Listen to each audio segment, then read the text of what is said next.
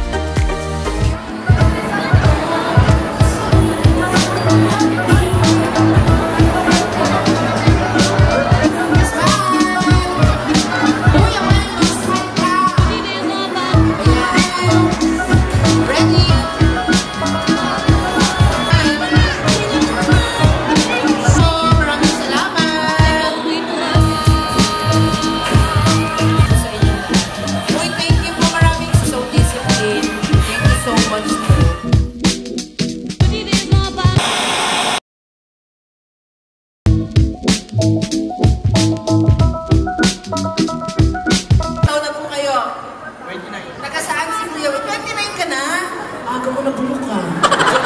Joke lang niya.